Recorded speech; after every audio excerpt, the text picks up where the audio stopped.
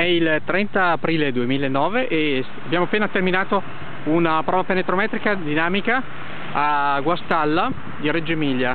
Siamo proprio vicini al fiume Po, quello l'argine, e oggi tra l'altro passa la piena del 30 aprile.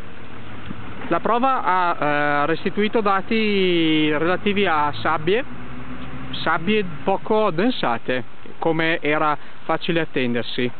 E ora e per quanto riguarda invece la falda, la falda è risultata eh, a poca profondità, a circa mezzo metro, anche meno, dal piano calpestio.